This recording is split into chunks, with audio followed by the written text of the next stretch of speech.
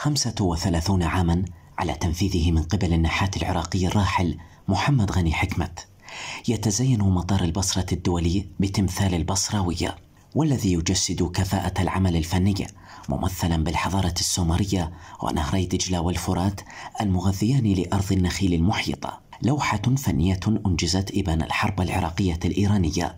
تجعل المختصين يطالبون الجهات المعنية حاليا بإنصاف الكفاءات لتشييد النصب التذكارية بعيدا عن المحسوبيات والمجاملة. في السابق كان تترك فد مساحة أو فسحة للفنان حتى ينفذ رؤيته الفنية طبعا مع تدخلات بسيطة للجهات الراعية أو الجهة المستفيدة. للأسف بالفترات الأخيرة السنوات الأخيرة فترة الحرب السابقة فترة اللي نعيشها حاليا بسبب الحروب كثير من العوامل الداخلت في تحديد نوعية الأعمال. ما نقدر نسميها محسوبيات؟ لكنه بعض المؤثرات لفنان معروف إلى صيت كذا. فللأسف انهمل الجانب الموضوعي بالعمل. ابتعدنا عن تمثال البصراوية منتقلين لعمل أنجز خلال الأعوام السبعة الماضية. ساحة الحرية أو ما تعرف بالباذنجانة كلقب شعبي ساخر من سوء التصميم ورصانة التنفيذ. وأمثاله في بقية المحافظات كثيرة.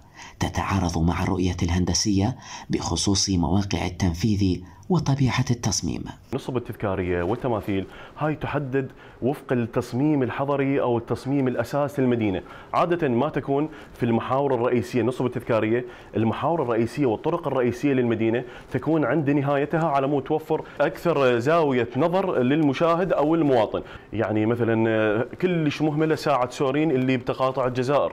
أصلا ساعة ما بيها ولا بيها محركات الساعة ولا مهتمين بشكلها ولا مهتمين للعلم. هاي أكثر زاوية نظر قويه بالبصره كلها وبينما تستعد البصرة لاحتضان بطولة الخليج بكرة القدم نهاية العام الجاري أعلنت الجهات المعنية عن قرب إعادة تأهيل النصب التذكارية والتماثيل بهدف زيادة الإقبال السياحي خلال وبعد الحدث إعلان يراه المواطن كسابقته من التصريحات غير المنفذة على أرض الواقع.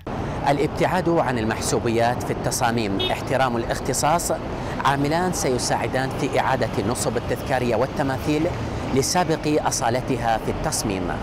من البصرة اركان تقي قناة التغيير.